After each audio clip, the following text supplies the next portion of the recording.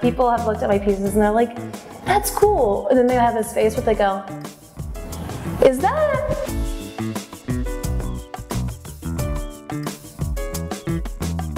And then they like run across the room and go look at it and they're like, wait, this is all made out of all words, all, oh my God, I can read this, I can see this. So there's kind of like this extra layer of people's appreciation, I guess. It's like a secret bonus, I don't know.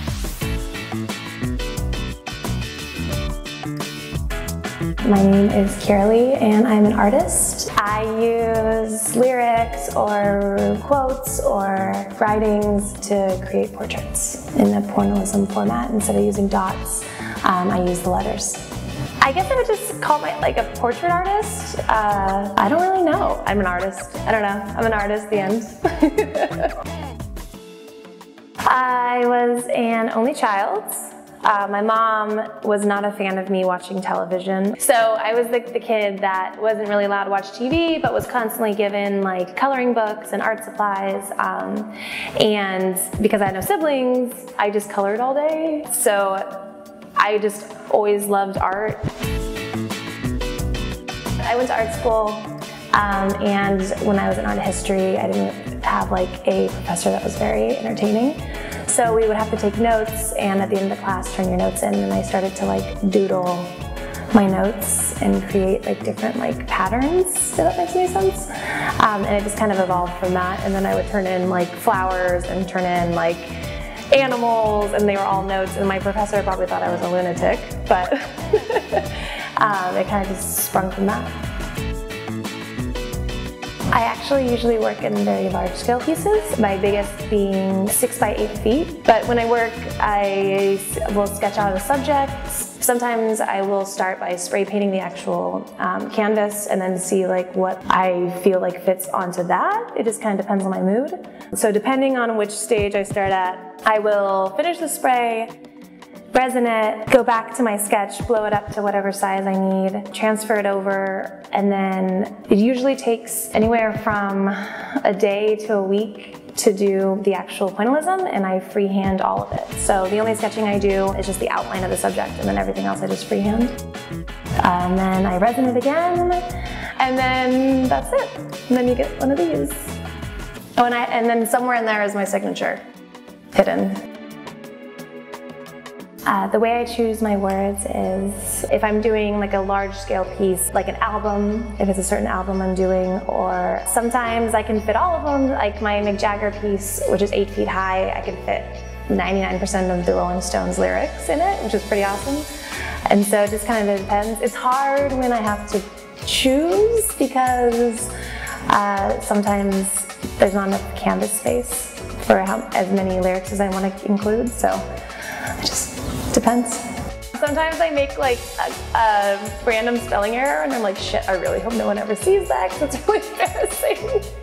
um, but I kind of can get gain a feel of once I start how much I can fit. So I'll either like just focus on the chorus of the song or just focus on a couple of the lines that I really admire. I have my moments where I'm like, damn it, I can't fit all of it. Okay, I'll just add a little more right here or write a little smaller. If I'm doing a musician, I always listen to his music uh, kind of to set the tone. I have to be really careful what I listen to because I've caught myself doing the Beatles and I'll start doing the song that I'm listening to and I'm like, shit, well it's still the Beatles, so that's okay. the most difficult part is the major hand cramping that happens. Uh, sometimes I'm writing for like six hours straight and like my hand will stop working. I'm going to have the most massive carpal tunnel when I get older. The hardest thing for me is this.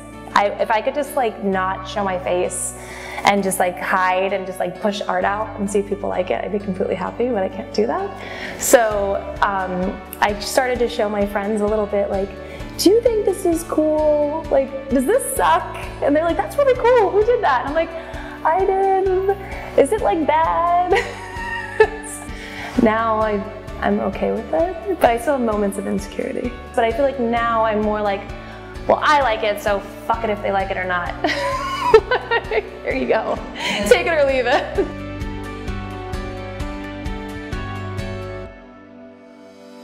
Like I feel like every person has an urge to do something creative. I feel like it's like part of being just a balanced person. I feel like it keeps people happy. I feel like it keeps people feeling like they accomplished something. I mean, you can sew a quilt and it would look like complete shit that you, when you finished it, but you feel accomplished. Like I made that and it's ugly, but I made that. I feel like it's just like healthy for the soul. I think that everyone should create. Like, even if you want to be an artist, you should just create. If you have an urge to create, you should create. And I feel like anyone that just loves what they do, it, it comes off in their work. I feel like you can tell if something's forced or if you can tell if that person like just like loves to do that. So just keep doing it. If you have to get a job to support it, just do it. If you know, like at least you're trying, at least you're making an effort, at least you're getting that want to create out. I don't think you should store it. I don't think you should stop creating. I think people should be creative until they die. I feel rewarded. I worry that I'm going to have to learn to use my left hand later in life. I do. I love it. I wouldn't trade it for anything.